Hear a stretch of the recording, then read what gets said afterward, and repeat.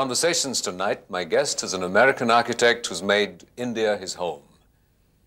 He's the grand, and if you'll forgive me the adjective, old man of Indian architecture. His work has been described as democratic, a harmony of the traditional with the modern, and a style that blends the environment with modern architectural techniques. I'm delighted to welcome Mr. Joseph Allen Stein. Mr. Stein, when you drive around or you walk around and, you see buildings and structures, uh, as an architect, uh, what, what, what do you look for? What, what strikes you as, as, as, as making a, a piece of, of, of, work, of architecture as, as good, perhaps? Well, that's a very large question. What strikes one is that architecture is the mirror of society. And as you just described it, the, the, the reflection is not a very happy one. So what strikes one, I think, more than anything else, is the terrible deterioration of the last few decades. In, in, in what ways and in, in, what elements that, that, that you see and, and strike you as, as representing this deterioration? Well, all you have to do is look at Red Fort as it must have been, uh -huh. or visualize it as it must have been, as it is now, Chandni Chowk. Course, there, there are always exceptions. Architecture is actually the mirror of society. So everything that exists in society exists almost exact same proportion in architecture. It's rather different than, say, lit in literature. In literature, literature is a mirror of society also, but as seen through the eyes of of, of the writer with his own slant, but in architecture it's the exact proportion of what actually exists, the petrol pump, the garbage on the street, the palace. Well, what formal role does, does the architect play uh, in, in, in, determining this, sort of, this decay, perhaps? Not much. Actually, architect, ar the architect is a technician.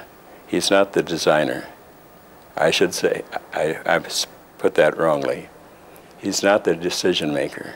The decision maker is the, the designer. With, with, with someone who's, who's, who's, now sort of as established and, and well known as you are, uh, to what degree do you feel you still have, have freedom in, in, in buildings you design and, and, and construct? Uh, that's a very large question. Uh, a successful building is always and invariably a collaboration between a number of elements, but particularly the, the client and the architect. Architecture is basically a teamwork, and I've not yet succeeded in building a good job except for a good client. Do you tend to have problems sometimes with clients sort of pulling in one direction and, and, and, and you sort of resisting and, and not feeling comfortable uh, with, with, with the way the, the client wants you to, to construct a building? Because after all, the building at the end of the day is known as, as, as, as, as a Stein building. Yes, there is, a, there is a problem sometimes, but not very often because usually people don't come to an architect unless he does the kind of work they're looking for. You came to, uh, to India more than 40 years ago. You were an, an, an, architect in America, working in France, and you'd worked extensively in Europe. What, what, what prompted you to sort of give up uh, a possible flourishing, promising career in the West to come to India at that time? I came here as a teacher. To West Bengal? To West Bengal. And my students were very, very excellent people to work with and be with. It was very stimulating. They were skillful, they were hardworking, and they were idealistic. Well, when you got this, this invitation to come to India, what, what, what sort of what went on in your head, and, and, and why, why make this trip all the way to the east? Well, what I had done, I had, I was ready to make a change. I had the idea when I started work that I would take a sabbatical every seven years and decide what to do with the next seven years. So I did that only once. And I, in the course of that, I was invited to come to India. And it, it was a period in Indian history which was very challenging. And, and, and what, was, what, what was happening at that time that you felt excited and challenged about? Well, the memory of Gandhi and Tagore was fresh. My students were full of enthusiasm and skill. It was a very promising period. Did you meet with Tagore? No, he was dead before I came. And with Gandhi? He was dead also. So when did you come? I came in 1952. Uh, you, you, know, you had exciting students, and, and, and, and what was it about India at that time that, that, that you found stimulating and exciting that, that made you want to stay on for, for the rest of your life? Well, it was a privilege to work here then. Uh, I, I was set to leave uh, India at the end of my teaching contract, which was a two and a half year contract when I was persuaded to remain to help plan the steel towns. It was a very challenging task and one that particularly interested me. And what was challenging about designing a steel town? Well, low-cost housing and mass housing has always been a particular interest of mine. And that, of course, is the epitome of it. So for some years I worked in areas like Durgapur, Jamshedpur, Rourkela. In the course of doing that, I, be, I also did other things. And the, the response was very gratifying. I came in contact with many people whom it was a rare pleasure and privilege to work with. Who were some of these people? Well, like like uh, C.D. Deshmukh, former finance minister of India, uh, Vikram Sarabhai, Homi Bhabha. What are your some of your memories of, of people like Deshmukh? Was that what led to uh, working at the, the India International Center complex? Yes, directly. He appointed me as, as the architect there. He had been chairman of the University Grants Commission. In that capacity, he had been asked by Dr. Radhakrishnan to take the leadership in establishing the India International Center, which was a project jointly conceived by Dr. Radhakrishnan and John D. Rockefeller, who had already founded a similar center in New York and Japan. Tell us about the uh, India International Center and, and, and the designing of it. Uh, what, are the, what are the architectural elements uh, uh, about it that, that, that you find special and, and, and significant that you were striving to achieve?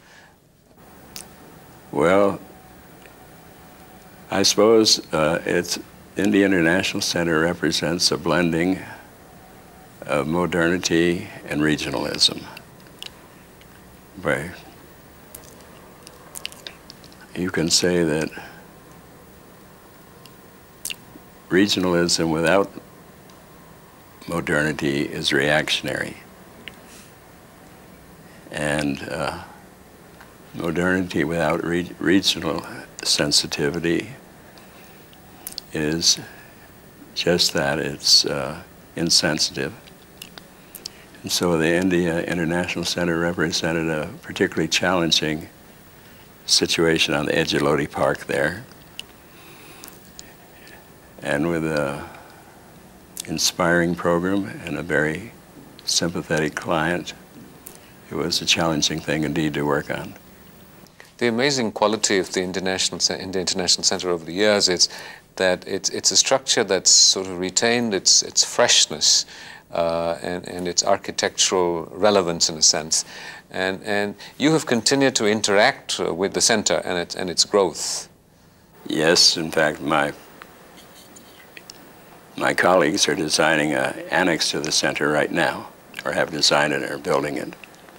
Do you sort of go back to a, a, a building you've done and, and, and, and, wish you'd done it differently now that it was locked in in, in, in mortar and concrete? No, I wouldn't say that. Uh, but I, I think the most interesting building I've done in many ways is Triveni, is Triveni, Triveni Kalasangam. Because there the client has continued to build on the foundation that the architect left, so to speak, in a very cons constructive way. That's a very gratifying experience.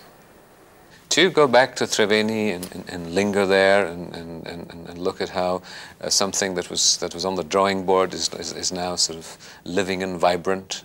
Yes, I've done that with pleasure a number of times. Because Mrs. Sridharani, the director of uh, Triveni is still active there. And it's a remarkable institution. It owes as much to her as to any single individual. Uh, she has never made an addition there that hasn't been an improvement, which is a rare thing. You mentioned uh, somewhere that, that, that when you came to India uh, in, in, in 1950s with, with, with, with, the charisma of Nehru presiding over India in a sense, uh, it, it, was an exciting time and it, it reminded you of what it must have been like in, in the United States with, with, with Jefferson.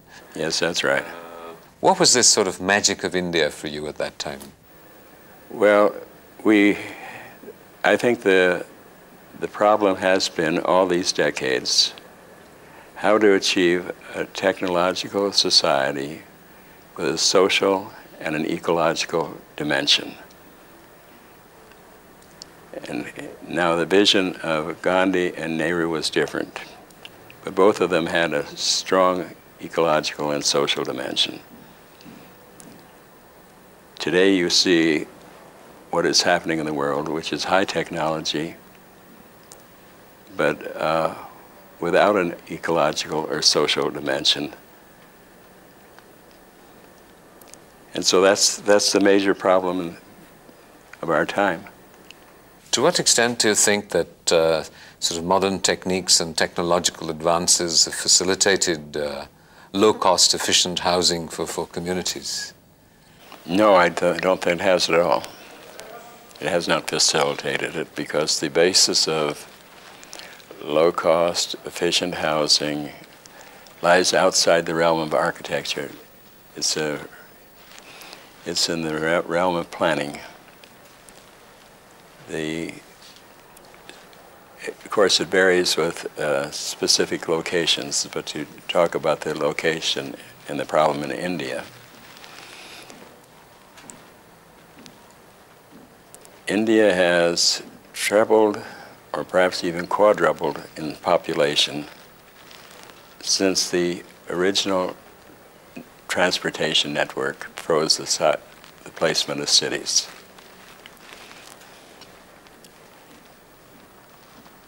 The, a, a city like Delhi has increased in population many more than 10 times in that period. Yet it's basically Yet the basic transportation network was established by the railroads about 150 years ago or more. And it's now hopelessly overcrowded. They can't even get more trains on, on, on the tracks. They run them as close together as possible. So the, so the, ba the basic element is the transportation system. That's what makes land available or denies it. And India is trying to hopelessly expand in a network that cannot accommodate what's being attempted. So, as sort of, sort of, as, as, as an anguished architect, perhaps, um, uh, what, what, what, what, what advice would you give sort of a, a town planner in, in a city like Delhi? Well, you see, uh, technology is an integral part of our existence and it's, it has performed marvels. Men have stood on the moon, something that was unbelievable. Yet, as Frank Lloyd Wright the well-known architects said, uh, mankind has the essential tool of the times by the blade, as, thousands, as millions of lacerated hands testify. That's what we see everywhere. We have a, a magnificent tool in technology, but the way we use it, it has very little ecological or social dimension.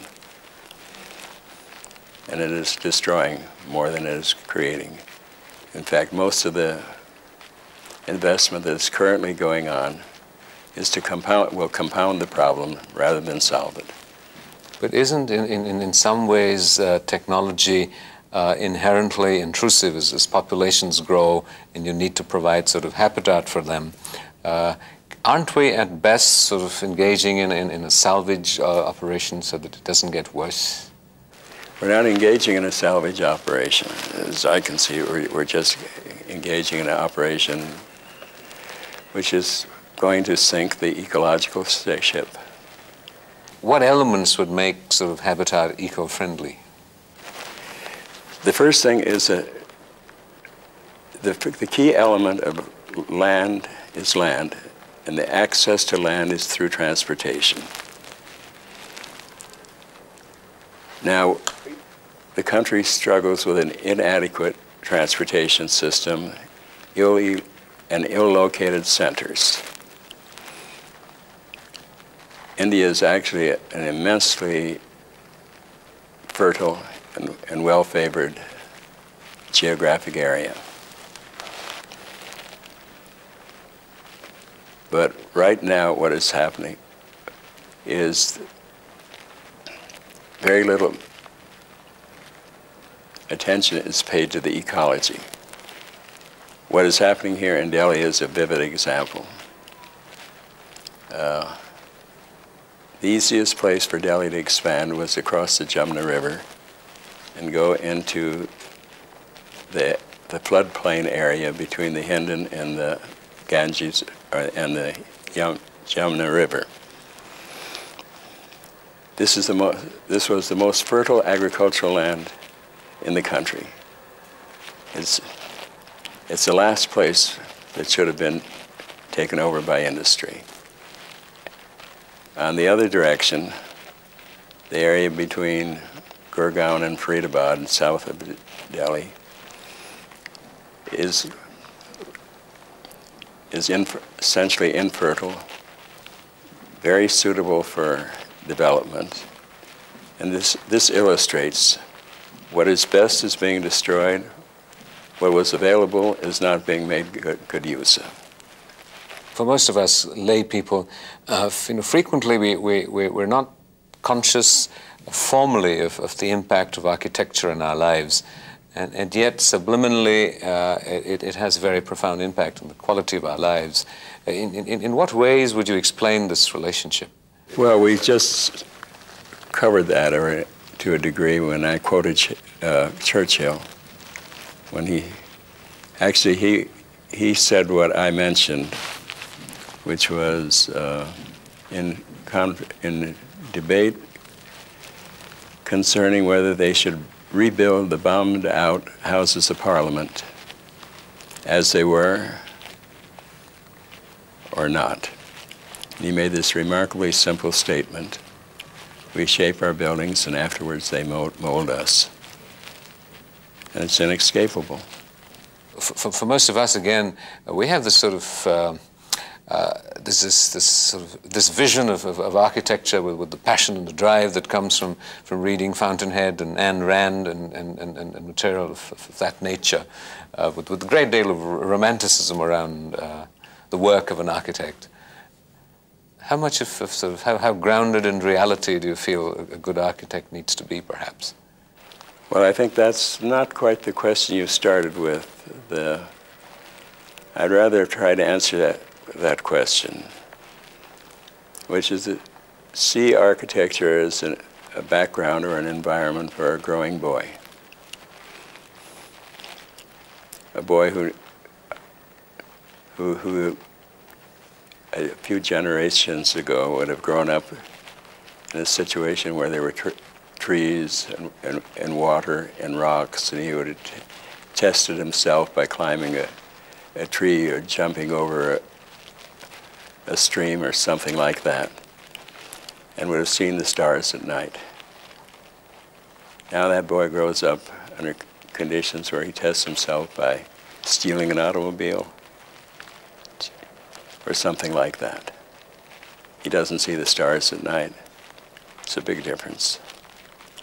But isn't that sort of a, part of a much, much larger sort of sociological phenomena than, than, than, than merely sort of uh, uh, architecture in some ways? Well, yes, it's, it's, it's all interwoven. It's all, all one fabric.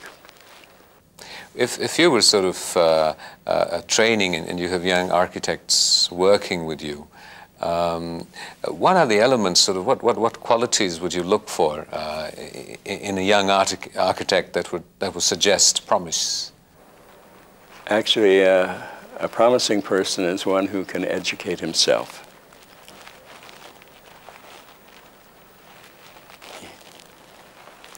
In other words, he's a fair, he's not dependent on his teacher.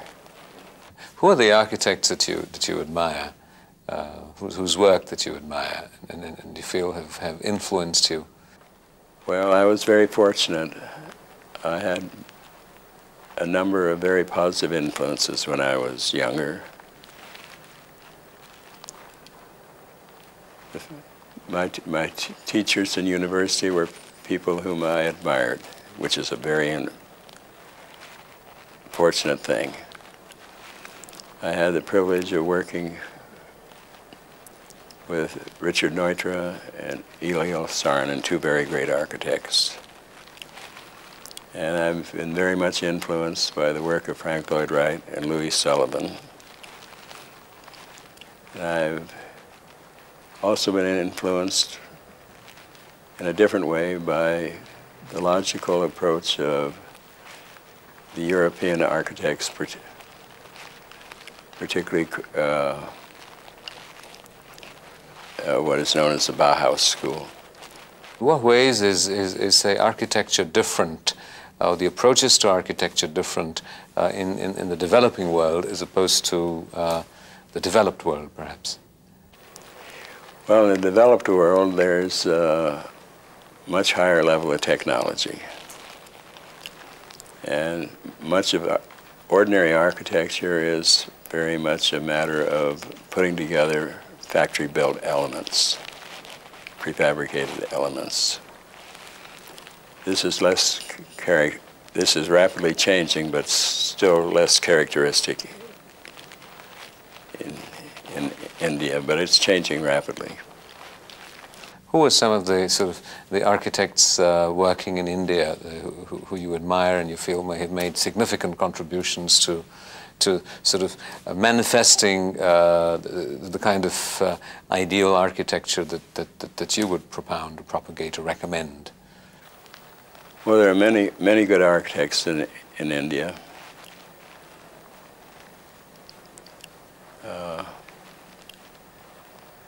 I wouldn't like to answer that question because it would leave out as many names as I could, could name.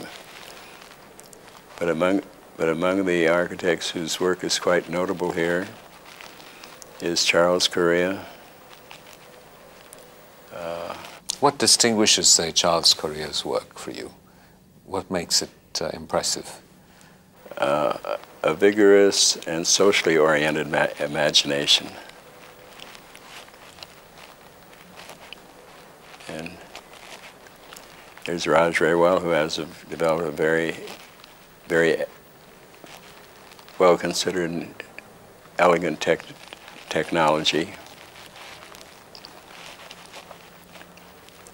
Uh, there's uh, Laurie Baker, who's done ex exceedingly significant work in the field of low-cost housing, and there are many others. what kind of is is is is, is there a, a, a project that, that that you that you wish you were commissioned that you could that you could do? Um, that is, is is there an unfulfilled ambition, a dream? Well, I think the the critical problem today is to develop a, an appropriate technology, which really an appropriate technology means a high. We cannot turn our back on what is commonly called high technology. Uh, it's, it is decidedly more efficient in many ways, it's also inefficient in many ways. It's a very comp complex affair. So what we're, the essential problem is how to move from high technology to advanced technology by which I mean high technology with an ecological and a social dimension. Mr. Stein, thank you very much for the, the, the privilege and the honor of hosting you on this program. Thank you very much indeed. Thank you.